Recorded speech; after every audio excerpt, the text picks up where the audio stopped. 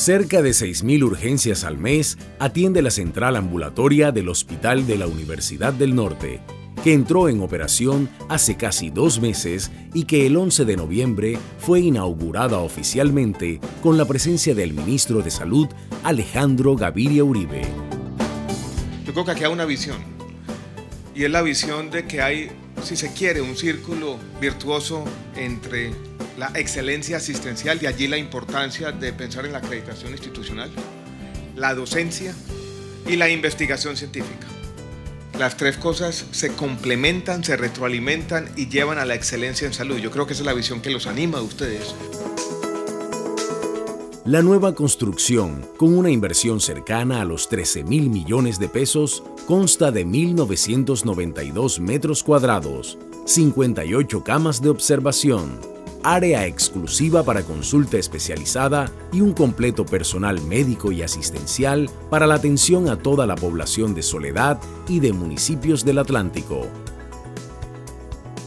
La inversión cuenta con recursos financiados por Findeter, la Universidad del Norte, su hospital y las donaciones realizadas por la familia Gilinski a través de sus compañías Novamed y Farmacápsulas.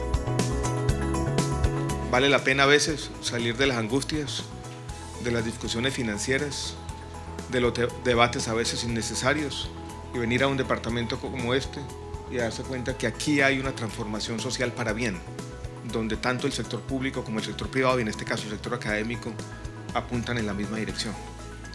Como ministro también me corresponde otra tarea mucho más mundana, prosaica, que es ayudarles a cobrar la cartera, ¿no?